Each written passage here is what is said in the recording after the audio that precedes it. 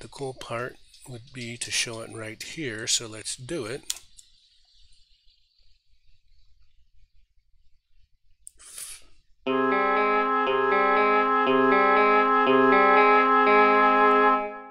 Alrighty, ladies and gentlemen, this is a recap of Composing in Full Media, Part 47 Clarity. In today's episode, we set out, let's just flip this for a minute. We set out to work on this composition, which is the full media hymn in 3443R with flute, oboe, and guitar. We spent a lot of time on that. We spent all our time on that. We, okay, how many times do I have to hide you? uh, we learned a lot more about working with arpeggios. And that happened down here like boom da dum, boom da dum, boom da dum, which is the phrasing and the slurring. And also when they transition from one uh, note to another, like ba dum.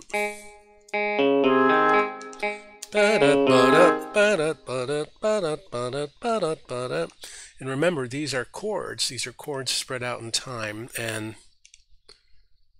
when you play them in a sequence, as we do, you will hear the horizontal harmony, but you'll also hear a melodic transition. And so there's a lot going on. So we learned a lot more about working with arpeggios, and as we said here, figures, variations, transition notes, cadences, and melodies. So we have completed the hymn variation. It's using flute, oboe, guitar. We squished it so there's no long spaces between the three stanzas.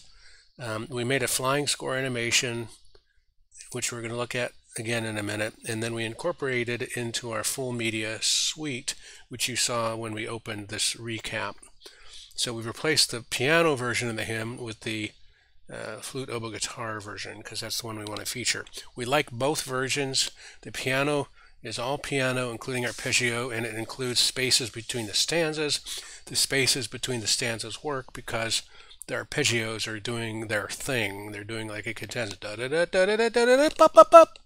However, in the this version where it's more lyrical, um, we just need a regular steady pace singing as we go along. So what we're going to do is uh, play this whole thing with the new guitar line for you, and then that'll take us home. So here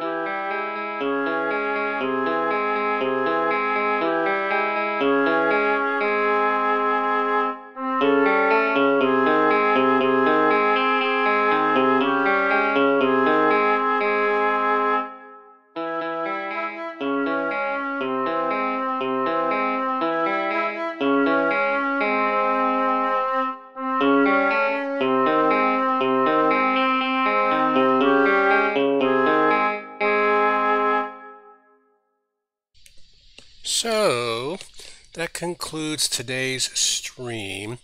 We really like how uh, we worked with the dynamics and their soft, loud crescendos. Spent a lot of time on that. Our ideas for next time are at the moment to be determined, although we have plenty of ideas from the sessions below. For example, Uh, definitely uh, sharing, sharing this. One, two, three, four, sharing uh, the, the new version. That's why we've got the thing there.